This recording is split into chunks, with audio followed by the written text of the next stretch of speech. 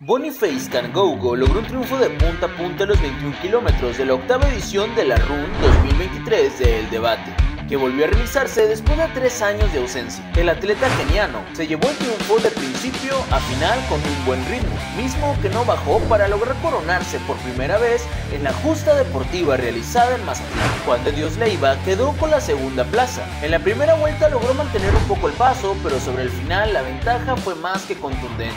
El tercer sitio fue de Carlos Hernández, que obtuvo otro lugar en el podio para Mazatlán.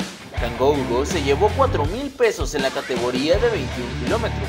Ana Luisa Llorente se coronó en la rama femenil seguida de Mirna Karina Reinaga y María Rodríguez Labrador Reinán en 5 kilómetros. Jesús Javier Labrador se llevó las palmas en la categoría de los 5 kilómetros al llegar a la meta con un cronómetro de 16.36. Jesús tuvo un ritmo excelente para salir con los brazos en alto. Como segundo lugar terminó Tristano Zuna que hizo un tiempo de 16.47.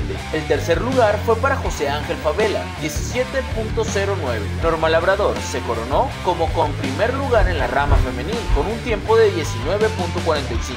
Janet Camacho paró el reloj con un tiempo de 19.56 para acabar en segundo. Joana Labrador completó el podio con tiempo de 22.13.